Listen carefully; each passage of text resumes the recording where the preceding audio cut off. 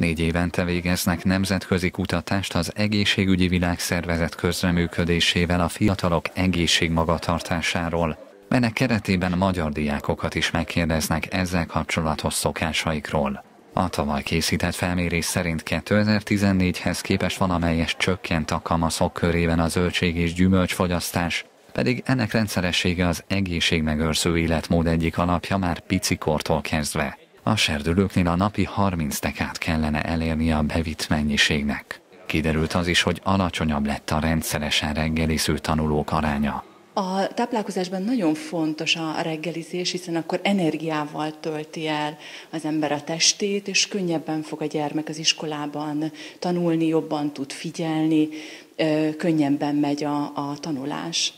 Mit elsősorban? Hát lehetőleg valamilyen gabonafélét, tejtermékeket, esetleg fölvágottal, tehát valami szendvicsfélét el lehet képzelni, és ehhez már, már is lehet passzítani a zöldségféléket a reggeli étkezésnél. A Magyar Hírlap összefoglalója szerint noha visszaesett a napi édességfogyasztás, a túlsúlyosak aránya így is 5-6 százalékkal emelkedett 5 év alatt. A dietetikus szerint ennek az lehet az oka, hogy az étkezési idő rövidsége miatt gyakori a nassolás az érintett korosztályban, emellett a mozgásszegény életmód sem segíti a helyzet javulását. Romlott az egészségi állapot szubjektív megítélése is, a diákok negyede nem tartja jónak az egészségét. Magas a pszichés és a szomatikus tüneteket rendszeresen tapasztalók aránya, valamint a diákok jelentős része számol be fáradtságról is. Az egészségérzetet sok tényező befolyásolja.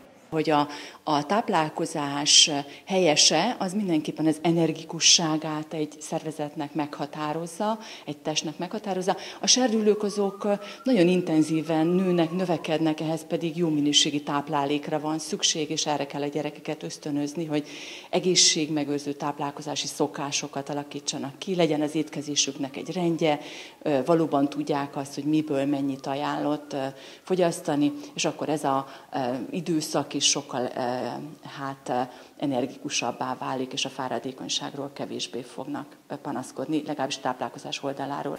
Ami jó hír, hogy a szerhasználatot tekintve az arányok stagnálnak vagy javultak 2014 óta. Tízből négyen ittak alkoholt a kérdezés megelőző egy hónapban. A lerészegedés előfordulása is némileg csökkent a diákok körében.